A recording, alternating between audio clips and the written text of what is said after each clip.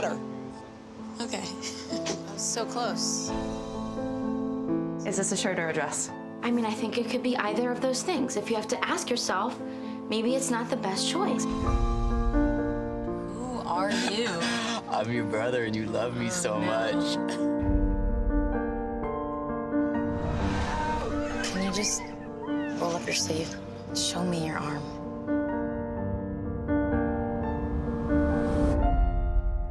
Where's Seth? Um, he went home. I'll be fine. I just need a little bit. I have done everything for you. Don't say that you understand. It's like the worst thing that you can say.